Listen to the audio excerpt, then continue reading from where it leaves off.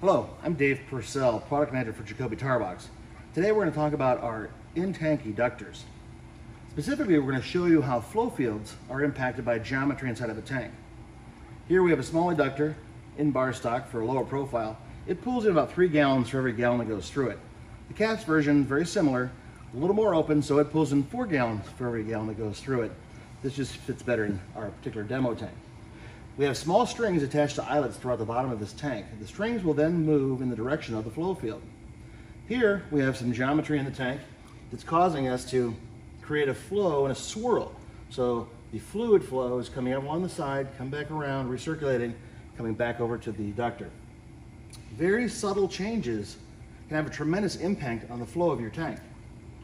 Just a small movement of our geometry inside our tank suddenly causes our flow field to be continuous from a continuous recirculation to now start to recirc down this same side. And you'll see the string is changing direction and pointing the opposite way here from what they were originally.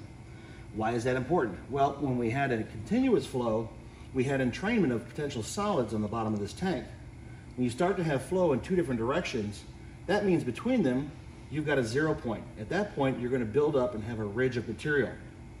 Depending on the process, that could be very important. Some cases may not matter as much. What's important is to know that the eductors can be customized to be optimized for any geometry within your tank, which can vary greatly. Because the impact of geometry can be quite different, we will go one step further and can model your geometry in our computational fluid dynamics package, or CFD for short. This way, we can make sure that all flow fields and all areas are optimized prior to any tank installation. For more information, go to jacobytarbox.com for additional video instruction.